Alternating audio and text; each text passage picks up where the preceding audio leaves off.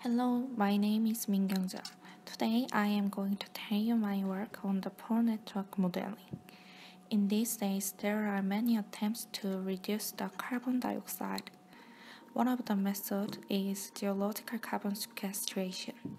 Geological carbon sequestration is storing the carbon dioxide in reservoir or marine aquifer. When inject the carbon dioxide into the reservoir filled with brine, carbon dioxide displaced brine. However, because reservoirs have high temperature and high pressure, carbon dioxide was changed to the supercritical state.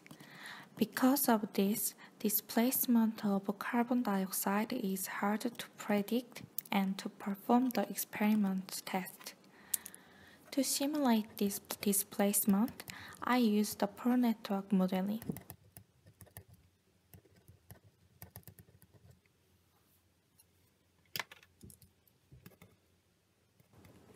Pore network represents the pore space with pore chamber and pore throat. This is how we can obtain the pore network. First, extract the rock core from the interested location and obtain the 3D image by using micro-CT.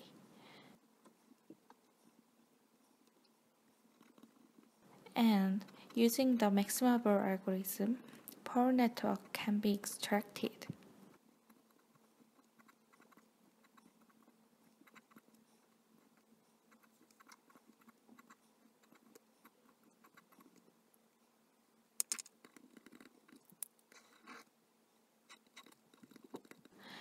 Using the pore network model, Young-Laplace equation, and Poiseuille law, we can simulate the multiphase flow with constant pressure or constant flow rate.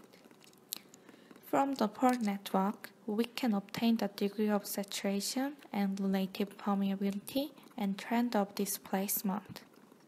Finally, we can predict the efficiency and potential of carbon dioxide storage.